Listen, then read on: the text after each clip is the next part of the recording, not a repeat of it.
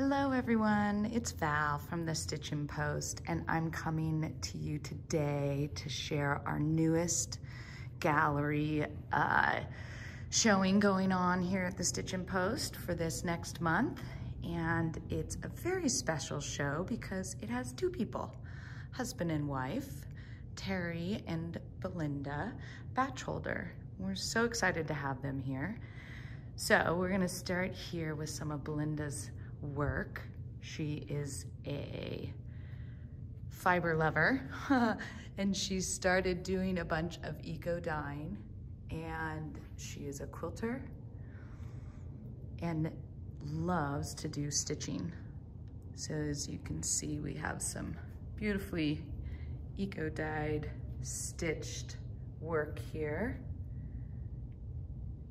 Some beautiful bags, Belinda is one of our employees here at the Stitchin' Post. We have a lot of very talented people that work here. And as you can see, she has a lot of lovely pieces that um, I love how the eco dye is enhanced with, sorry for the reflection, huh? Enhanced with the stitching. And then this one's my favorite right here indigo, you know. Love that indigo. So Belinda, as you can see, does all this. She also is an amazing garment sewer and because she's one super tall lady, she used to have to make all her own clothes. So she really got into garment sewing. and she's teaching some classes for us in sewing, which I'm super excited about for garment classes. Now, here we have some of Terry's work. Terry's a stained glass artist. Uh, I love how they all work together, actually. He was very inspired by uh, the Frank, Frank Lloyd Wright style, and he also loves quilts and how the simplicity of quilts and how you can create that and move it into your work in stained glass, which I love the combination. I think stained glass can look a lot like a quilt. Here's some more of Belinda's work. It's just really cool, right? Eco dyeing. It's like a whole nother thing to get into. So it's kind of fun for us to have something completely different, such as stained glass. So besides the wall, we're gonna take you to all the windows so I can show you some of Terry's work. They're beautiful pieces. He uses a lot of agates and stones. We'll see if we can get up close. Look at that. Isn't that beautiful?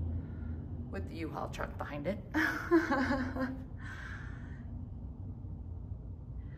anyway, so the shop is full of all sorts of bright, beautiful stained glass.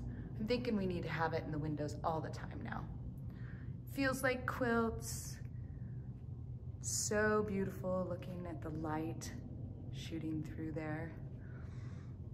All right, we're gonna have a little journey around the shop now as we go to the other windows. We're getting lots and lots of new stuff in these days. Oh, here's a couple more. We have Jeans six and Stones back in stock too. Here's a few more.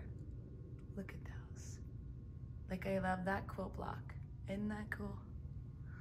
All right, we're gonna go to the front window now where we definitely have some beautiful work showing up.